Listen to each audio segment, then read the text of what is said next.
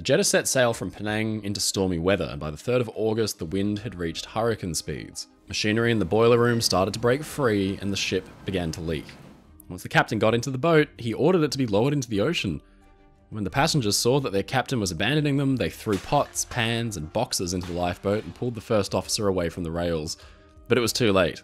The captain had fled the ship.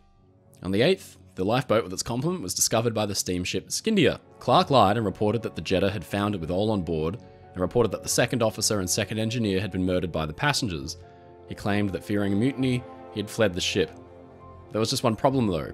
The ship hadn't sunk. She survived and arrived in Aden the next day. Given that he had broken the cardinal rule of the sea, his punishment seems fairly light as he was only given a three year suspended license to operate ships. The damage done to Clark's reputation, however, lasted far longer, and he's gone down in history as one of the worst captains of all time.